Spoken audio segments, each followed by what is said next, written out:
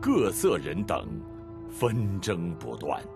原本相对平静的江湖中，突然出现一位名叫博野景行的奇男子，但其人行事古怪，性格乖张。江湖中传言他心狠手辣，杀人无数。在习得江湖第一内功心法《五曜心经》之后，不但杀戮了武林中各大门派，甚至将其恩师博野非凡及师门寒英谷血洗。所以，无论正派邪教，均将其视为死敌，倾巢追杀，并对博野景行所拥有的五曜心经垂涎欲滴。黑白两道终在雁荡山路发现其人行踪，全力击杀。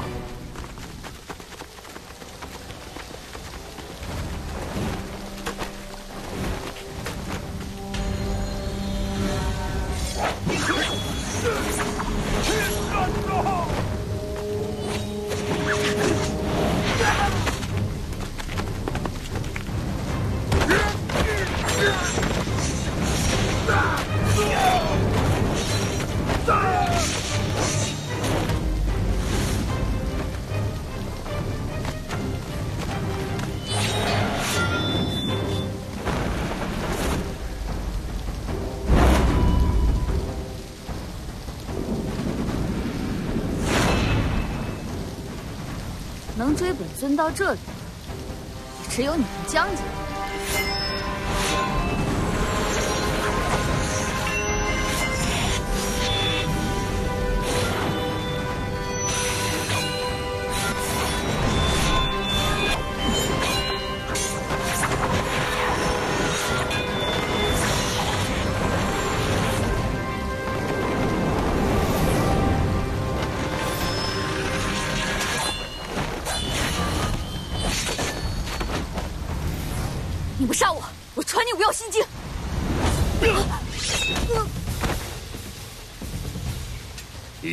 心经，博野景行的死活根本不值一提。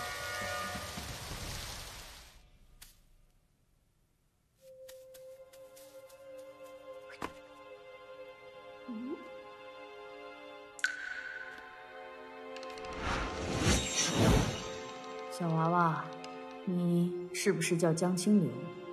嗯，你是谁？我姓大，叫大好人。你练过武功？当然，我爷爷说我学的可好了。你根骨不错，可是你练的一点都不好。你胡说！你看，天下武功，唯快不破。重要的是流畅和连贯。你试着在第三招气沉左腿，在第四招腰随气动之后，便可劈出两脚。心走风流，意沉锦溪，气沉丹田，如心如玉，如影随形，声东击西，斗转星移，飞沙走石。断石狼烟，日贯长虹，止戈为舞，刚柔并济，蜻蜓点水，气行周天。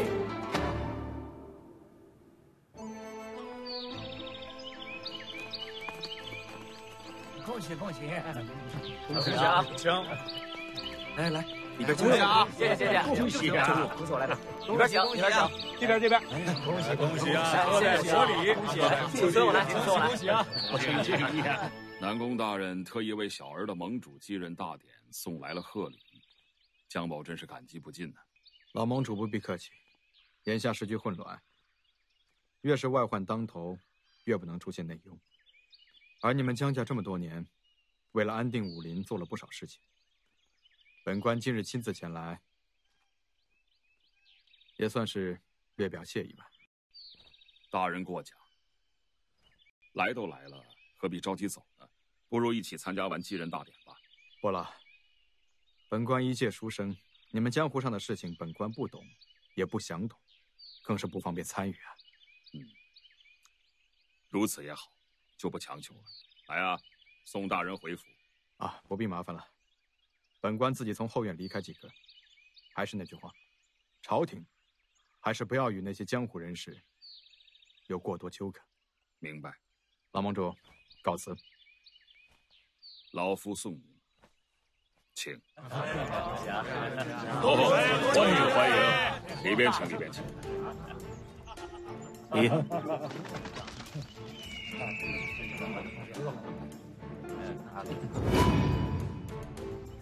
看来是九影派的华听涛到。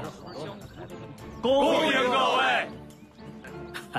江盟 主啊，江少主，华掌门，十年未见，还是中气十足。看来剑法更是精进了。不行了，老了，老了，开个三十功就不稳了。倒是听说江少主的残象神功已经进入第九层了，年纪轻轻就有如此的武学造诣，我们这些人看来是难以望其项背了。方掌门，过奖了，清流啊，愧不敢当。华掌门一直游走边陲，以剑术独步武林。我听说，你曾一箭射下九只山鹰，九影派因此名动江湖啊！哪里哪里，五只，其实啊是五只。哦，此剑术非比剑法，若论剑法，当今天下，当是我七秀剑派和陈璧山庄有的一比了。哼，自大之徒。江盟主，江少主，百里掌门。哎呀，江盟主，今日一过，就可以享享清福了。哈哈哈哈是该歇歇了。啊，这是小儿百里此处。见过江盟主，果然是一表人才。江少主，方才听闻江少主神功已成，恰巧我前两日也习得七秀剑法的第十三式，不知道待会儿有没有机会跟江少主切磋一二啊？嗯嗯，若单以剑法论，七秀剑派与陈璧山庄平分秋色，难分伯仲。这讨教，我看还是免了吧。请留，去看看奶奶和婉禅那边准备的怎么样了。好的，爷爷。百里老弟，今日我们一定要畅饮一番呢。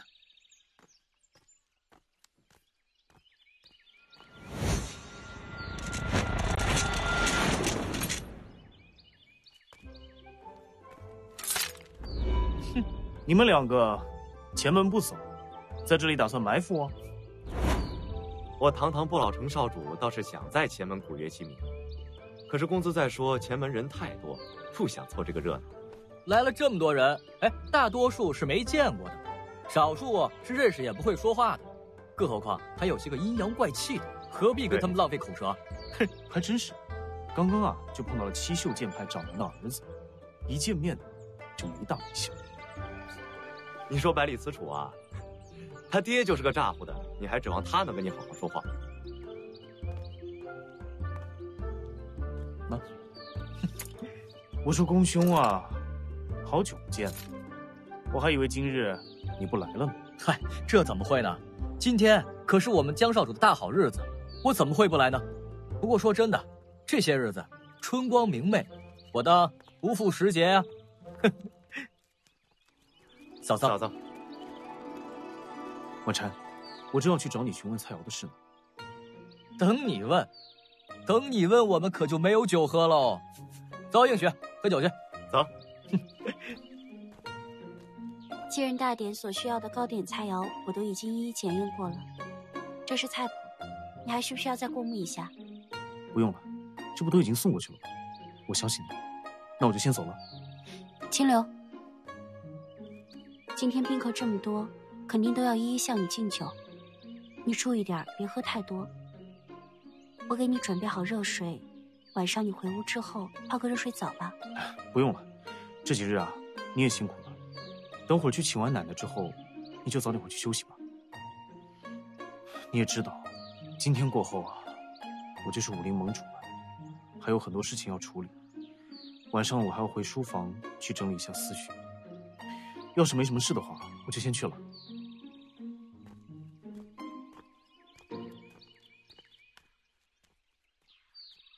五行龙印到。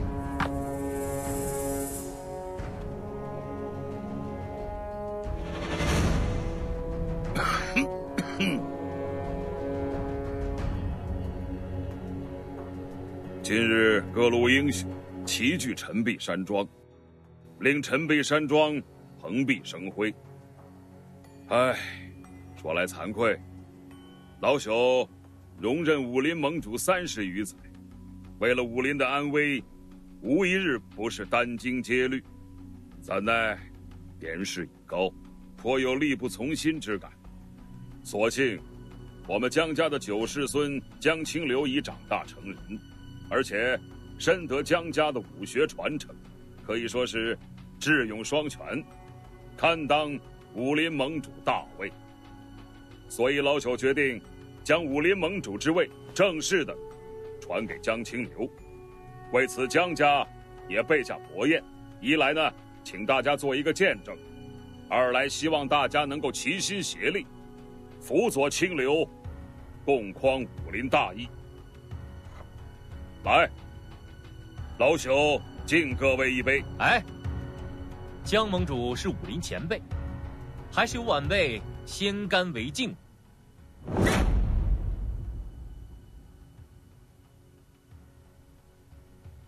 少侠果然好功夫。这五行龙印本是武林共同的，光江家传江家，老夫就见过两次，算上这次。是第三次，没什么意思，不如大家先豪饮一番，玩得开心些。适才小子不懂规矩，这杯酒，您先敬江少主。老盟主，你说呢？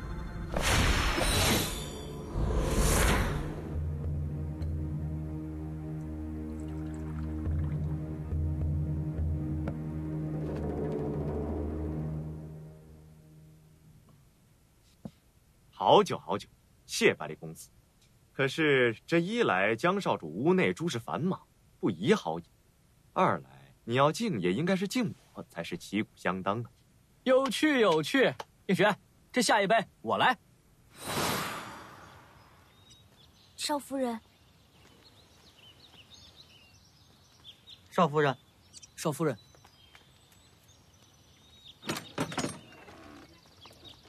奶奶。客人们都到齐了，正在聚贤厅。清流说让我请您过去，您到了就可以开始接任大典了。我听见外面热热闹闹的，早就准备好了，还奇怪，你怎么还不来请我？我一大早便在厨房准备菜肴，刚送过去，路上又遇到了清流，就耽搁了些。所以凡事赶早不赶晚，知道今天人多事多，就要早做准备。大典之后。清流就是武林盟主了，到时候恐怕这种热闹少不了。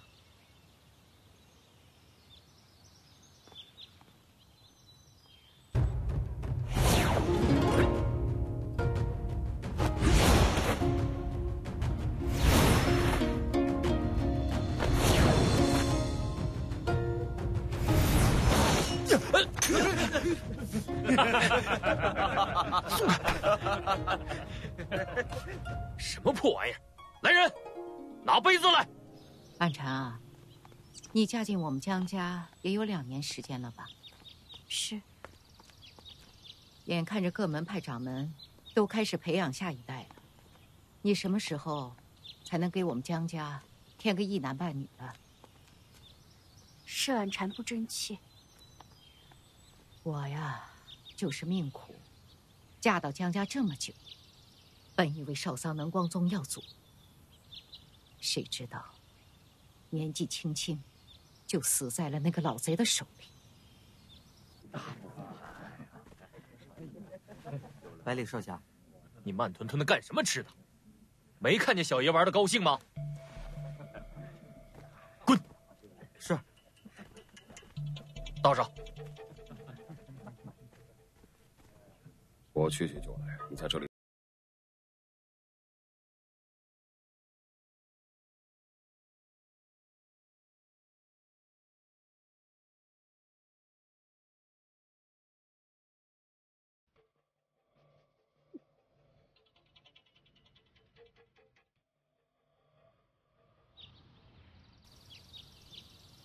不管怎样，我们江家不能无后。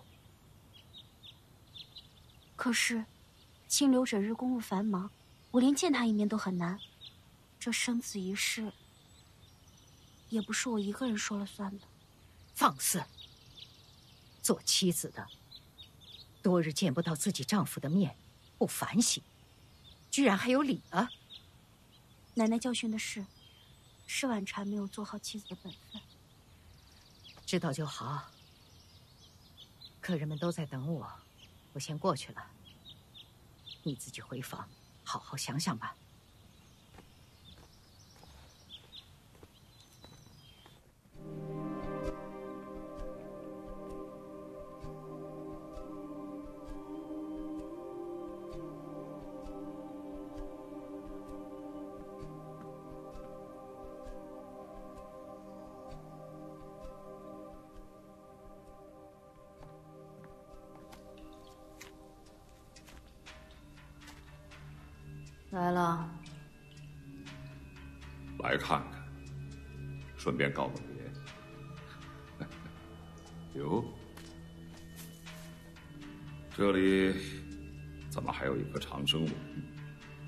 反正你每次都要喂我三颗，等你走了我就吐一颗。这会儿你又来喂我，无非就是多睡一会儿。这么多年，清不清醒也？不重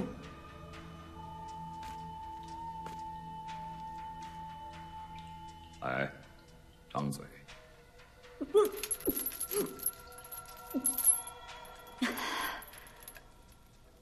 趁你现在还清醒，赶紧把《五药心经》最后四句秘诀告诉我。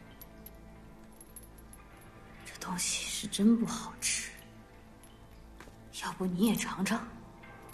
秘诀嘛。这么多年，我已经告诉你前四句，这后四句，看你表现，看我心情。也许再等个十年八年吧。少爷，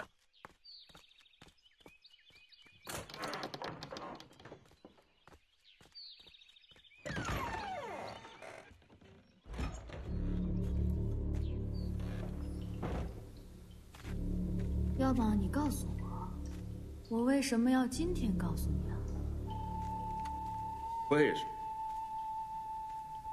很简单，再过一个时辰，我就要将五行龙印传给江青流了。也就是说，他将是下一任的武林盟主。江湖上除魔卫道的事情，老朽可就管不了了。我和你之间。也就再无关系，但有一件事情，我今天必须办。清流这个孩子武功虽然很高，但为人太过善良，江湖阅历也太浅了。而你呢，生性残暴，诡计多端，一旦逃出升天，将会是清流最大的隐患。我是他的爷爷。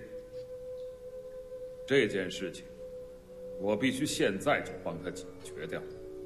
这样吧，我给你一个选择：要么你把《五药心经》最后四句秘诀告诉我，我把它传给清流，你的武功绝学也算是个传承，我给你留全尸；要我就将你碎尸万段，挫骨扬灰，让你和你的《五药心经》从此在江湖上消失。江湖上再也无人知晓。对，还有件事，这么多年过去了，我已经老了，头发也都白了，可你却没有变。这长生不老之术，老夫也想知晓。长生丸啊，你也试试长生丸。少废话，你到底说不说？江湖上的各大门派知不知道你？他们如此信任的武林盟主江隐天，竟是如此道貌岸然的卑鄙小人！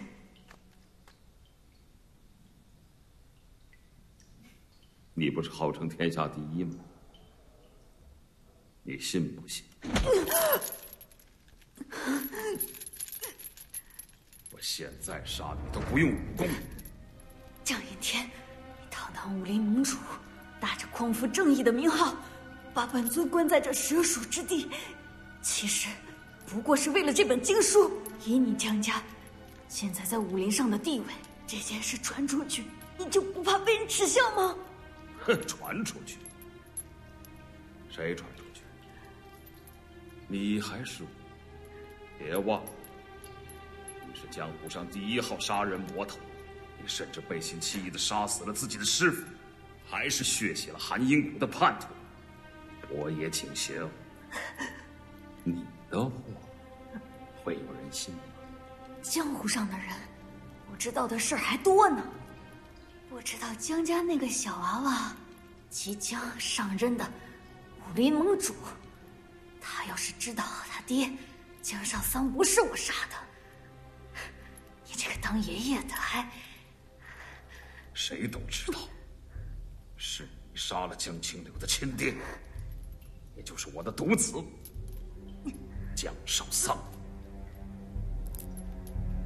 谁？什么人？清流，爷爷，你怎么到地牢来了？奶奶已经到了，让您过去主持接任大典。方才发现您不在，四处寻找，才发现您在这儿。刚才我们的话，你都听见了？哦，爷爷，孙儿刚刚看见门外碎石飞起，好奇心驱使，才下来看看。你来的正好，认识一下。这位就是江湖上谈虎色变的第一魔头，博野锦行。他不但欺师灭祖、血洗同门，而且以天下武林正道为敌。今天是你继任盟主的日子，爷爷要你亲手杀掉他。一来，在天下英雄面前立威；二来，就算是给天下英雄一个见面礼吧。除魔卫道，这是你的责任。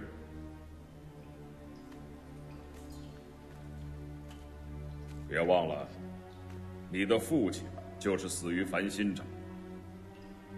你杀他，也算是替父报仇。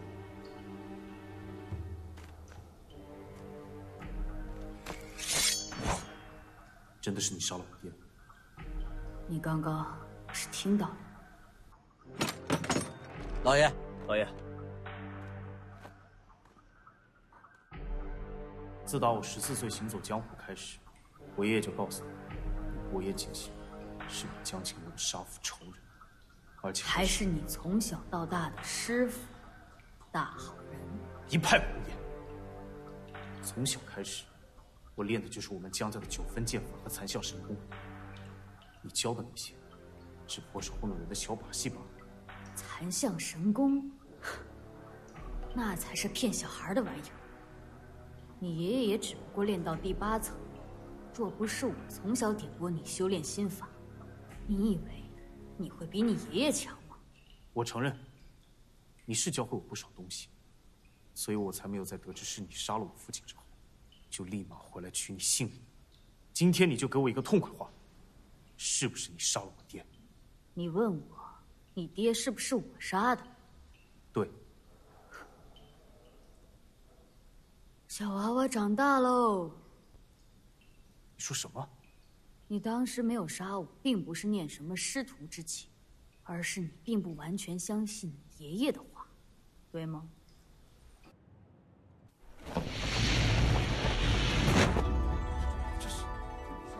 请问姑娘如何称呼？是何门何派？继任大典不请自来，有何贵干？我叫什么用不着你们管。我无门无派，今天来就是来砸场子。啊！他是何人？什么人？你这婆娘，个子不高，胆子不小。今天是武林盟主的继任大典，竟敢在这里说这种话！你知道在座的都是谁吗？哼！我管你在座的猫三狗四，在我眼里不过是一群废物。当然，也包括你。找死！武林中武功最高者方能成为武林盟主。我是来挑战的，比武还是比酒，你们挑。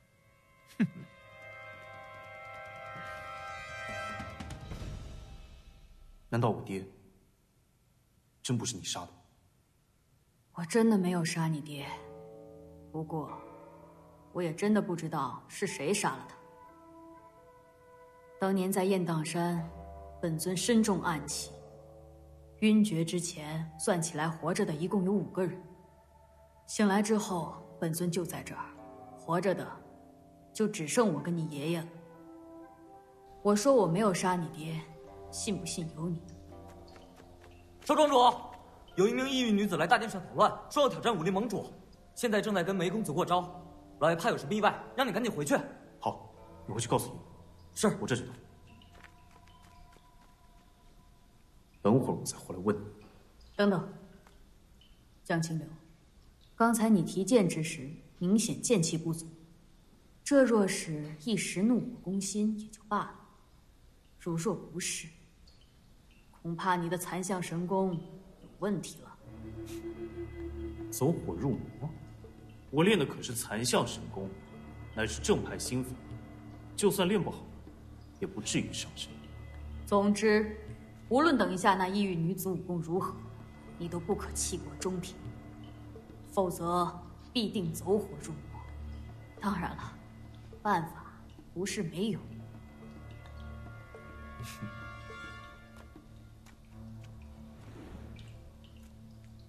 你会回来的。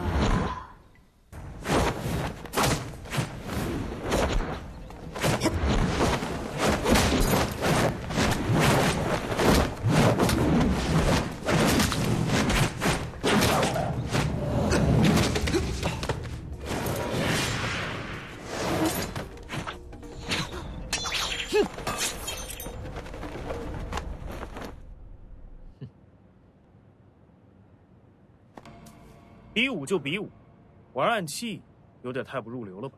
是啊，他有铁扇做名器，我为什么就不能用牛毛金针做暗器呢？那好，姑娘，听说你要挑战武林盟主，那咱俩就光明正大的比试一番，谁也不让着谁。看来你就是继任的武林盟主了，果然气度不凡。不过。我可是已经打了两场了，有点累了，想休息一会儿。妖女，刚才你飞暗器的时候怎么不喊累啊？那这样，我让你三招，只守不攻。好，那我就恭敬不如从命。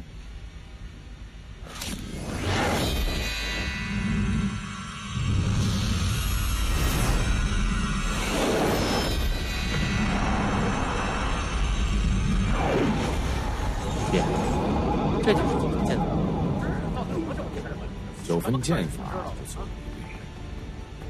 但是这九把剑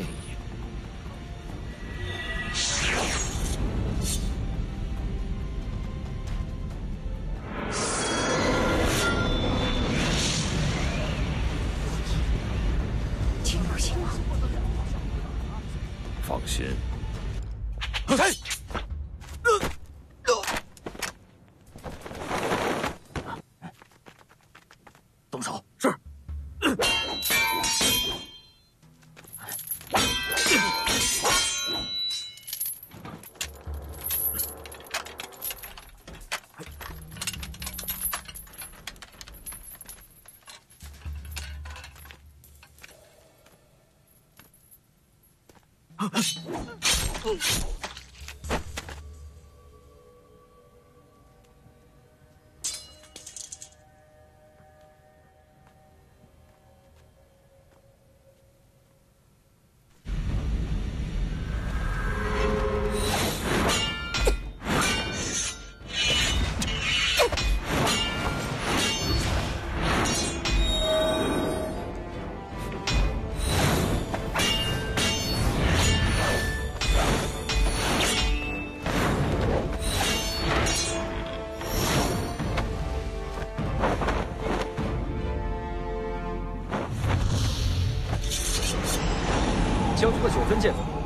然出神入化，对付区区一个妖女，不在话下。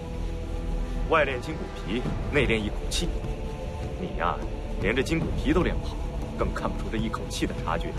哎，要不是我救的你，你这口气差点就没了。哼！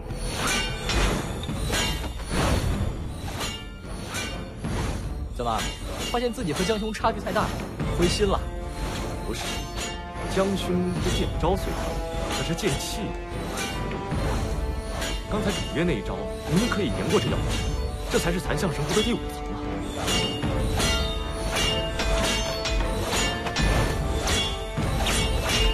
将军小心，此人故意拖延时间，可能有诈。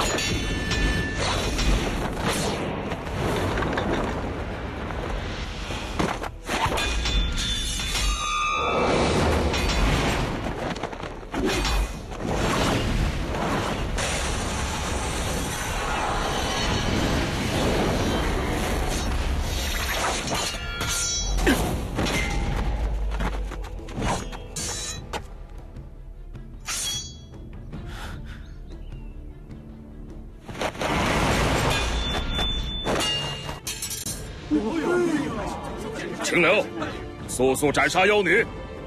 各大掌门，请随老夫去地牢。好。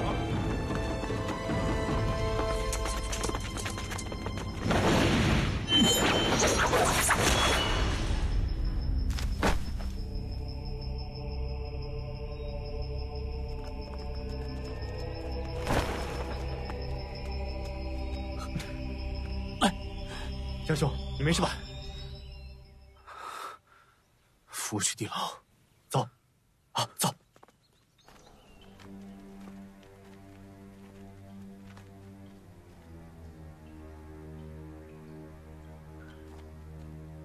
也是一帮无名尸首，看不出门派，果然和刚才的妖女是一伙的。十一年来，伯爷景行都是关在江家的地牢，这武林都知道。有人觊觎也很正常，但是为什么会是在今天来劫狱，把伯爷景行救走呢？不管是劫还是救，伯爷景行没有跟他们走，只是杀了他们自己跑了。爷爷，伯爷景行跑了。清流，你怎么受伤了？没有。刚才跟那妖女打斗之时，本想使出燃液，结果……金牛，刚才你提剑之时，明显剑气不足。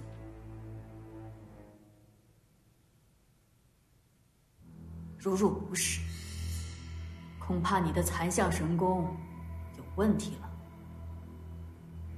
走火入魔，我练的残象神功可是正派心法，就算练不好。也不至于伤身，结果一时大意，让他给跑了。对，那妖女施法奇怪，突然向我袭来，江兄是为了救我，才被那魔女踢了一脚。各位掌门，你们先回聚贤厅等我一下，老朽要去送送孙儿。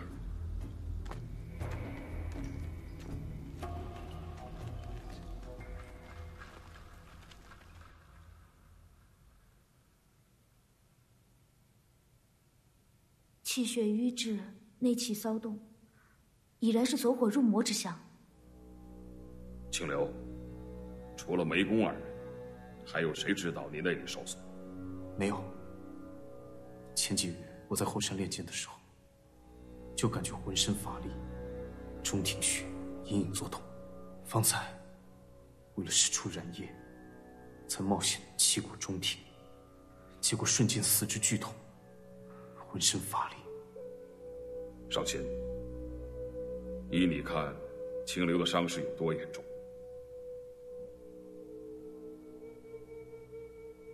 伤心，你但说无妨，我挺得住。伤心可保你性命无忧，但你体内经脉受创，气息虚浮，恐怕恐怕什么？恐怕武功是不能再恢复了。少卿姑娘，你们天香谷是武林第一药王谷，而你们父女又被江湖上视为天下第一神医，难道就没有办法救救清流吗？天香谷屡受江家恩惠，清流与我二人。又是自小就相识，我若着实有办法，便是拼上性命也在所不辞。只是，你所练的残象神功非比寻常，况且如今你已经练到第九层了，内功之深厚，实在并非我所能控制的。为今之计，只有好生调养，确保性命无忧，再做打算。我们武林中人，失去了武功，就跟废物一样。这性命还有何用？